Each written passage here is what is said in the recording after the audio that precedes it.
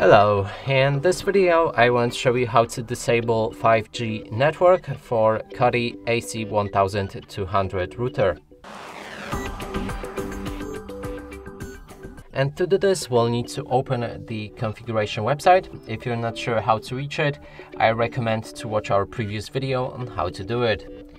Now we can open settings, then go for wireless here you can find two different band of networks. They, there's 2.4G and on the bottom there's 5G. Here is a switch under 5G. Click on it and this should disable the network. Now make sure to click on save and apply. And that's it for this video. Hope you like it. Please consider subscribing to our channel, leave a like and a comment below.